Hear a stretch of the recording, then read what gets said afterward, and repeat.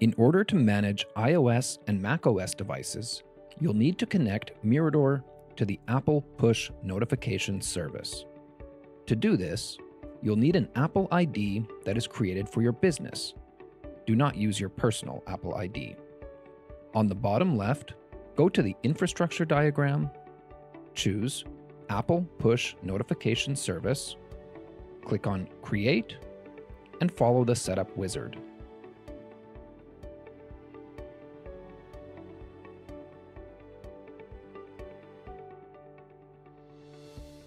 Make sure that you are logged in with the correct Apple ID.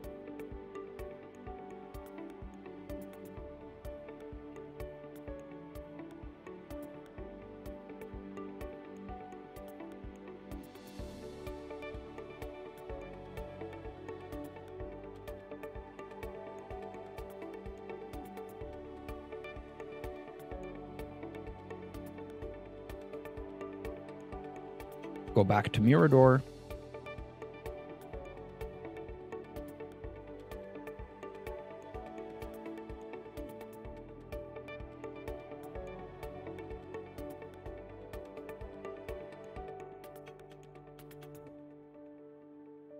Your Apple Push certificate has now been created successfully.